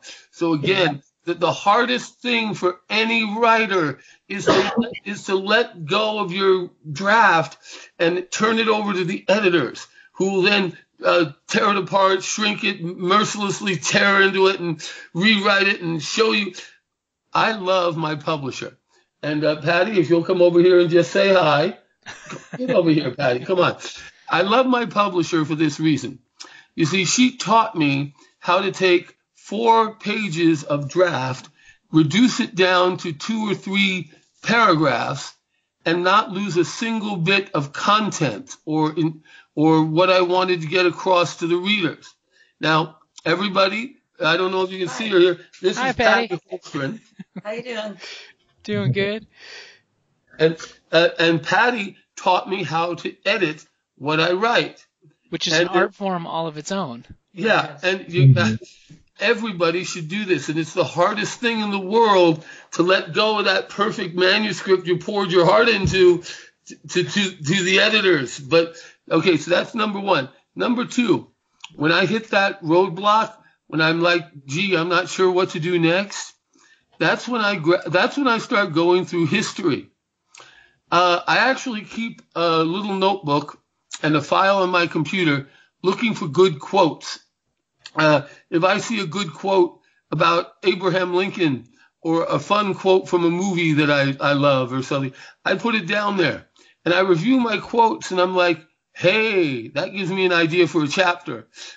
you know, um, I will say this also: those dusty old history books that uh, people found so boring in high school, my gosh, they're wonderful. It's a treasure trove. I, I, I mean, pick, pick a different topic, you'll find something. Now, one other thing I want to say about Patty, and, and yes, she's she's hoping she's escaping here, but no. One other thing I wanted to say about Patty is that uh, I think it's so much better to find a publisher than to self-publish, because Patty gave me a gave she gave me a sheet of paper once, one thousand things you had to consider, or what, however many it was, several hundred, whatever, several hundred things you had to consider when you're writing a book. And you know, this does it's not just writing the book, the copyrights, the the fonts, the uh, the spacing of the lines between lines in the book. You, Leading. uh, uh, the, the what? Leading. The leading, yeah. You, uh, do you want the you, you want to avoid the you want to avoid the book uh, going down into the crack? You know the the words going down into the margins, yeah. All this stuff you got to think about. And uh, Patty got me to focus on on you know being systematic with all of this. I mean, The, it's the science behind the art. Right, and put it another way, writing the book, writing the book in draft, that's the easy part. You know? And then once you get the book published and printed, there the fun really starts. Marketing, marketing, advertising. I, I'm devastated. After five years, my GoDaddy website finally got shut down. I uh, five years ago, I got one of those five pay this and you're good for five years. Well, now they want like five times what I paid last time. So uh, I'm I'm looking into Wix. I'm looking into other uh, website. Hey, uh, I, I can help you out with that, John. Um, Ah, I, I know a lot of people who can help you out with that. So Ooh, see, see why I want to bring you guys together? Because uh, writing, much like music, is great when you can have jam sessions with folks, especially when everybody does a different genre. So that way you can actually talk openly and freely. right. Well, I would like to underline something that John said about those old dusty books. I write mostly sci fantasy. Um, with, I mean, it's multiverse, so it's it, it goes into everything. But yeah. the, Oh, yeah. the truth is, is that a lot of my lore, even though it's based in science, calls back to a lot of mythology and a lot of history. Um, it, it, it that public domain is a treasure trove Mm. of Yes. stuff. Yes, it is. It's I it's mean- like even Ga- Game of Thrones. I've joked with so many friends who aren't history buffs, of I can quote which book and which chapter is taken from where in history in Yeah. Europe. You know. I can do that too. And George, George Martin took so much from the War of the Roses in England. I mean, Mm-hmm. I, I, I, I, I mean, yeah, but again, uh, absolutely. And uh, again, I'm delighted to meet you guys, uh, just Justin and uh, and Evan, and of course, James, James discovered me. He discovered me what four or five years ago at Tucson Comic Con. Kind of quite a while back, yeah. And uh, J- J- James has uh, been very encouraging, and I, I'm I'm very flattered and honored to uh, be able to yap tonight. Thank you. hey, I mean, fantasy books based on D and D. No, that's totally something I wouldn't be interested in. Yeah. Just like apocalyptic RPG ba- with apocalyptic books read. No, totally something I would not be interested in. No, you know, I'm glad Pat. I'm glad Patty's sitting here. I wish he heard you guys say earlier. Write the RPG game first, then write the novels. I, but but we, we I mean sooner or later I may do an R, RPG game. I, I'm thinking about it. I mean, I, and you know, I, I've got some wonderful maps, guys. Um, uh, I will. Oh, James James mentioned the Arizona Fantasy Gaming Association. More importantly, and James will agree. Check out my Dungeon Masters Secret Society Oh, on Facebook, your, your Facebook on group. Yep. Facebook. Dungeon Masters Secret Society. I would love to. I created something a long time ago very similar to that. To that, so I would I would love to check that out. Because uh, game masters need to have their own support groups. Damn it. Yeah, Yeah. right. and, and believe it or not, we, we I only started this group like six months ago. We've got we've got over fifteen hundred members already. Oh, that's impressive. We, Wow. we, we, have had debates on miniatures, alignments, how to handle difficult players. Uh, how, you know, I have an idea for an encounter. How can I spruce this up? I mean, uh, oh God, How can you add plus one to that awesome encounter? yeah. And uh, uh, again, I'll I'll uh, I'll send you guys links. But uh, okay, um, May I actually uh, Yeah. interject something? I I wanted to before we move on too much. Um, I wanted to kind of touch on something. Another another thing that uh, John had spoken about was about editors and and that that it's hard the hardest thing to um, kind of hand over. And so w- I talked about Dr. Um, Erin Macdonald and sort of handing over my science lore to her. Uh, that was terrifying. It was absolutely terrifying. I'm a science teacher, so I take a little bit of pride in my Yeah. understanding of science, but this was quantum mechanics in a world that isn't real. yes, yes. So I, I this is totally new territory for me, and I Ah. got some of the best compliments from my editor because she was basically editing the science, and just wow, uh, she really liked my warp drive. Right. Um, I, I, I call it realistic fantasy. Yeah, The, the more real is it, the more realistic, the more it makes sense, the more fun it is. Yeah. But the more Yeah. careful you have to be. Yes. and uh, I, I, can- I can proudly say uh, the- uh, uh, one last thing I wanted to add, following up on exactly what Evan was saying. I envy your science background, Evan. Um, well, you, you've got to be able to pass. My books can pass the geek test. Uh, you consistency.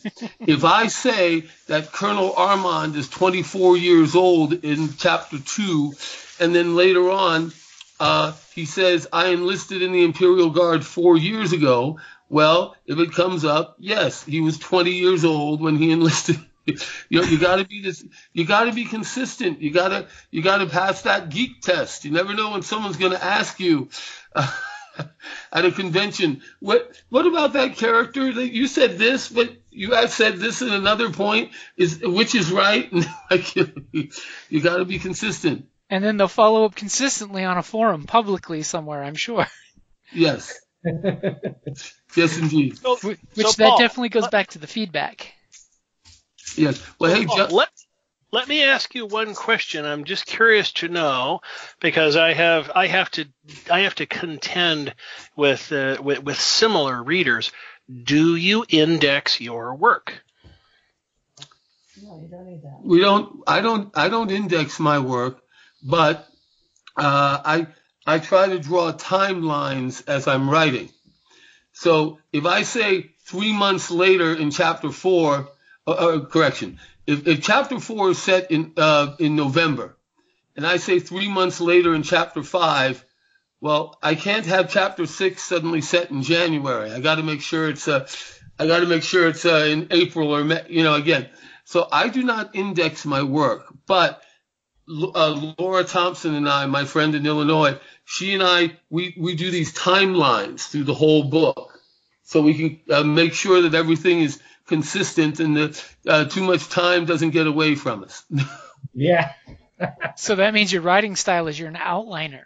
You like that that timeline outline to, to keep you in track. Right, but ah, but this is very important.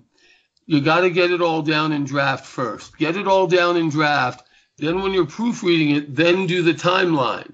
And you can say, wow, that chapter four and chapter six don't connect. I need to redo that timeline. I need to straighten. right, you know, so yeah, um, the, the, the, the, and oh, the, to fi- uh, to finally answer Jason's question, what, what motivates me when I'm, when I get writer's block?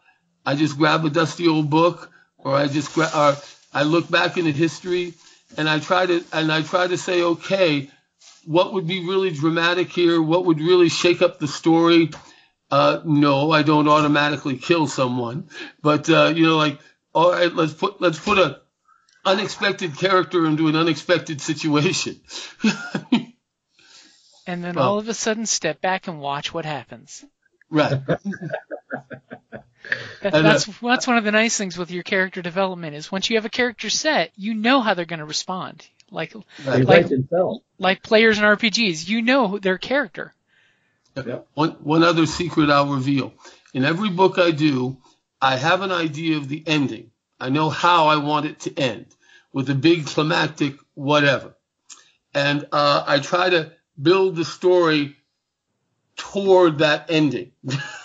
you know, uh, I, I know I know there are hundreds of debates on this. Some people write the story as they go.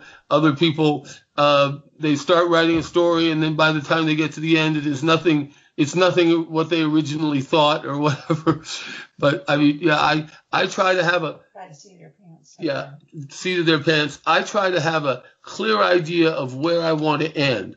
Well, you know, are are are are, are the are the baboons that were experimented on? Do they go nuts and start killing everybody, or uh, do do we have a big sea fight, or do we have two dragons battling in the sky, or oh my God, do we attack the nine hells dimensional planes, or uh, you know, or, or oh my God, we got we got a lovely civil war here. Uh, who, uh, who, who's going to win out? You know, all this stuff I try to plan out in advance where I want to end, and then Mhm. uh, then I head work toward that. Or you Yeah, just pick all three. Right. Anyway, uh, I, I I've used up my section. Uh, who's next? What's next, James? so uh, pretty much that that covered the topics that I had for this jam session. It sounds like we definitely need like I'm thinking an entire one just for writer's block, but that's just me. Or whatever topic we come up with next, because I know you guys want to hang out some more, because I, I know I want to hang out with you guys some more. That'd be awesome. Sounds good to me. Well, So- I'm, I, yeah, I'm trying to see how I can get down to Tucson. I just hope they have a convention in November. Yeah, sadly everything is still up in the air for everything. But then again, you know, I'd rather be safe than sorry. You know, 2021 is going to be the year of the con- the convention comebacks. There you go. Because in 2020 we don't want to catch the con crud that's going around right now. Yes. yeah, It's not Mm, a week of being sick, it's something far more serious. Yeah. right. Yeah. So yeah. to pretty much wrap up, we'll go ahead and go one by one with you guys. Where can folks find you online and find your work online? I think we've kind of mentioned it, but we'll put it at the end just to make sure it's there so folks can make sure to type it in their Google machine before they, you know, finish listening and wrap this up. So Justin, go ahead and go first. Okay, well, if you want to know about me specifically, you can go to justinoldham.com. I made that deliberately difficult so that nobody could remember it. and if you want if you want to know more about the game specifically, you can go to acaftercollapse.com. And for those of you on a budget, we have more than 30 items that are downloadable for free if that motivates you. And if you want to know about the business side of the operation, you can go to shadowfusionbooks.com.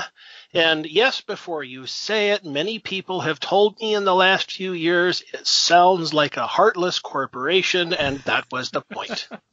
Either it. that or it's a false flag shadow organization, one or the other. Can neither confirm nor deny. Well, what I can confirm is uh, that I just launched my website.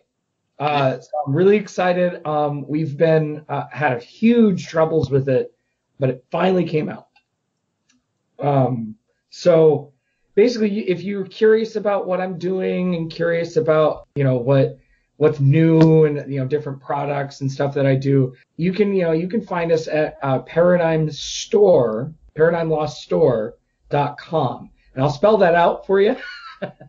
uh, P A R A D I G M L O S T S T O R E dot com. I know that's a mouthful and that most of the letters in the al- alphabet are in there. Basically, uh, you can find all the new stuff that I'm going to be doing. Um, you know, the Kickstarter was meant to start the business, not, you know, just kickstart a single product. So we have books already that are free for download. We also have uh, pre-order dice. So once we fulfill the Kickstarters, you can get your, you know, if you missed out on the Kickstarter, you can get those recipes. Um, and sort of an exclusive for James here, but uh, I'm also going to be moving into metal dice, recycling stuff. And um, I would like to underline that uh, a lot a lot of my products are designed for in-game you know, gaming. And I realize that that's sort of not, uh, I guess, too popular right now. but um, a lot of it goes to supporting. We're, we're going to be starting kind of a nonprofit sort of thing mm-hmm. where some of my products were designed to help people in hospitals play role playing games. Uh, so, like for instance, my dice roller will help you, you know, roll dice in a hospital bed or on a small table. It also helps children uh, keep their dice on the table. So maybe you can bring your kids in on the games while you're stuck inside. and cool. great for road trips. Yeah. He's got this really great hamster ball dice roller that you can roll on any surface and get your oh, dice wow. to actually come up as a result. Cool. It's like a Weeble Wobble. It's like a physics toy. Yeah, cool. Weebles wobble, but the dice don't fail. yeah, there you go. All right, well, go ahead. Uh, okay. Um, as I said, my my five year old website just came down last month, so I'm redesigning my website now. But all is not lost. You can find my books on Amazon in the books department. Go to books.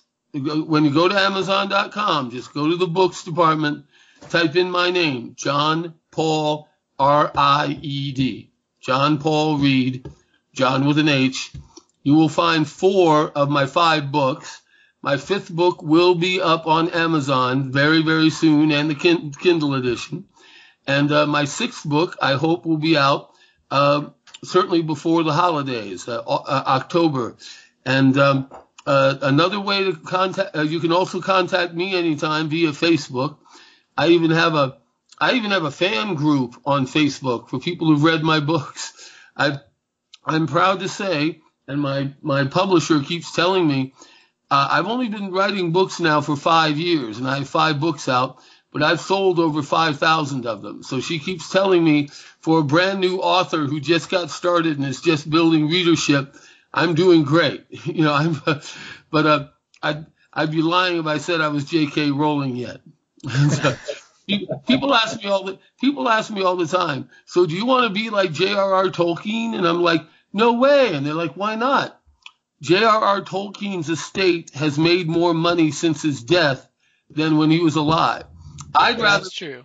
I'd rather be like I'd rather be like J.K. Rowling. I want to be alive to enjoy my billions. You know, I, I I can't wait. I can't wait for Stevie. I mean Steven Spielberg. I can't wait for old Stevie to call me with the three movie contract deal. You know.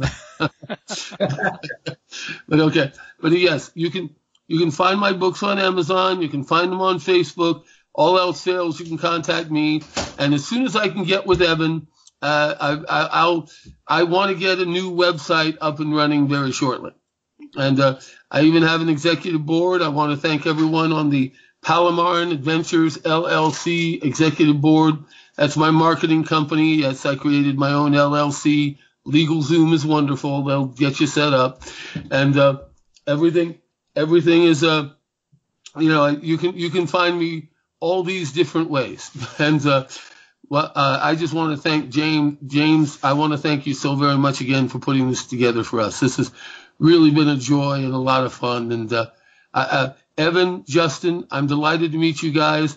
I'll even send you. I'll even send you some links and info as soon as we get off here on Facebook. Okay. Awesome. Awesome. I look forward to it. It was really nice to meet both of you. Yes, I'm glad to meet both of you too.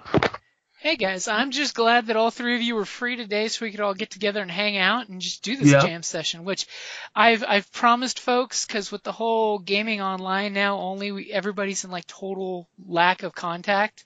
I figured this is something that we need to do more often of getting to chat with everybody online because like with with John, we normally meet at the conventions that go on. You know, that's it's the Yeah. convention circuits. Like this week would have been Yeah. Phoenix Fan Fusion Yes, it would have. and we would have been up in Phoenix this weekend. But as the case may be, you know, I still don't know what the rest of the year's convention circuit looks like. So this way, at least we can all keep in contact, and I can get to you know other folks to mesh with each other because it's all about everybody creating cool stuff and rifting off each other. You know, it's it's Yes. collaborative creative energy feeds off of each other. You know, it's Yeah. and that's one of those things that if why not share good things? You know, if I like something, obviously I'm going to share it because somebody else may see this and go, "Hey, I like this thing. Thanks for sharing it."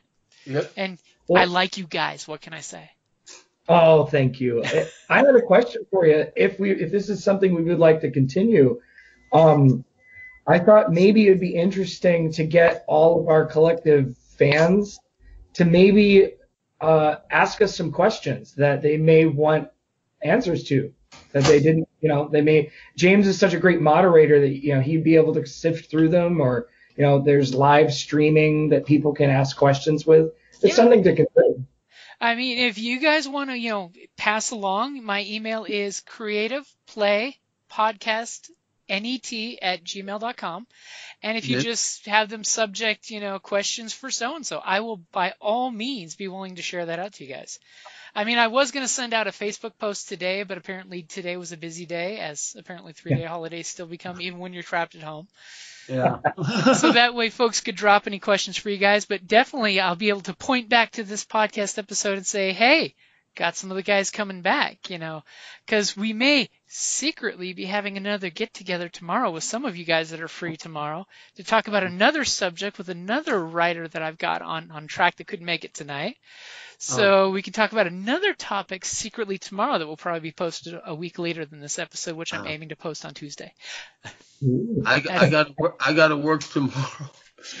I know. uh, I, I, I could do it in the evening after 7 p.m. my uh, Arizona time.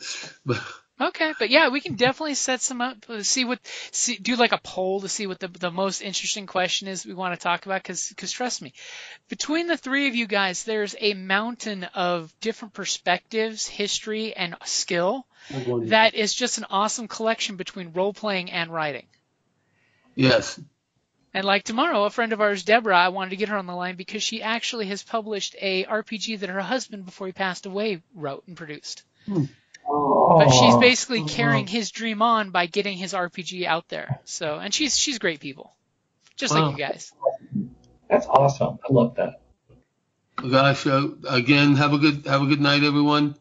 God bless. Thank you.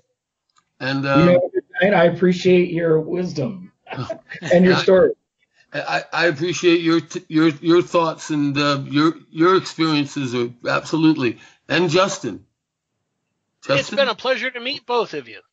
Yay. God, again, I don't I don't want to hang up.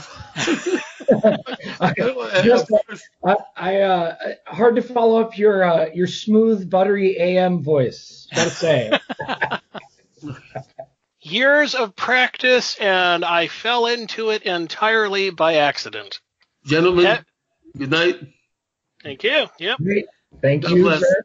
All right, Well, have a good night, guys, and thanks for coming Yep. on. And you you know you're going to be on again. I'm just you know just gonna throw Absolutely. You got it. All right, later, guys. All right, later. Yes. Yep. Hello, this is Eric. and Wendy Strog with Stone Valley Hobby and Games. We sell board games, card games, role playing games, and supplies. We have thousands of Magic the Gathering cards available, carry Kickstarter products, and work with veteran owned small businesses to bring you our own line of products.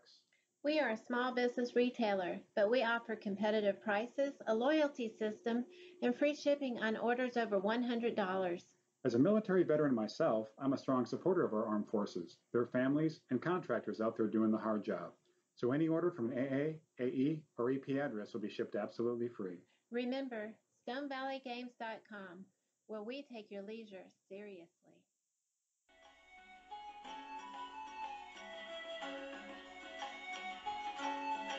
Thank you for listening to the Creative Play and Podcast Network.